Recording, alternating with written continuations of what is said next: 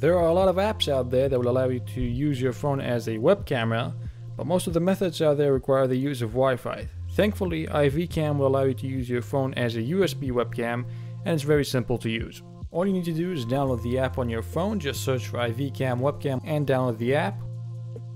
Once that's done, you can move on to your PC and install the software with the same name. Links will be in the description, just go through the installation process and once everything is done and up and running you can go ahead and connect your phone to your PC using a USB cable. Once you do that, the software should recognize your phone immediately and you should be able to see a feed of your phone camera on your PC. Now if that's all you wanted to know then you're basically all set, you can go ahead and try the app for yourself and see if it works for you. But if you want to know more information about the app, then you can keep watching. Now something to keep in mind is that the app is not completely free, so if you're using the free version, you'll have a watermark and also some scrolling text that might show up from time to time. You'll also get some pop-up ads that you have to click away. This may not be a big of a deal if you're trying to use this on uh, Skype and Discord with family and friends, but if you're trying to use this for streaming, this may lower the overall quality of your stream. So you might want to get the full version, but before you do that, you can download the free version, check the setting and everything, see if it works for you and see if it suits your stream. And if everything works great, then you can consider getting the full version.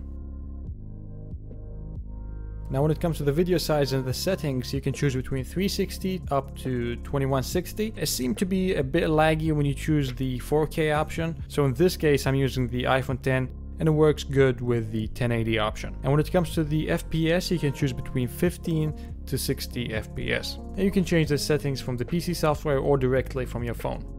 Some of the options that you have in the app is to check the network connection and see if it's good in case you're using Wi-Fi. You can also turn on the flash, enhance the image, flip the screen, and also switch between the two cameras that you have on your phone. Now in order to add this to OBS, you can do that just like a regular webcam. You click on add, choose a video capture device, create a new one, and then choose the iVCam as your device. You can then resize it, put it in frame, and you're all done. Some people also mentioned in the reviews for this app that they had some heating problems with older devices, so you might want to check and see if it works for your device before you get the full version. Hope this was helpful. If you have any questions, please feel free to ask, put them in the comments below, or ask me directly in the Discord server. If you have any better solution, please share it with us. In the description you'll also find a playlist with tutorials on how to improve your stream, problems that I met along the way while trying to stream, things like creating transparent transitions and effects, or how to sync the audio and webcam with the gameplay when it comes to streaming console games.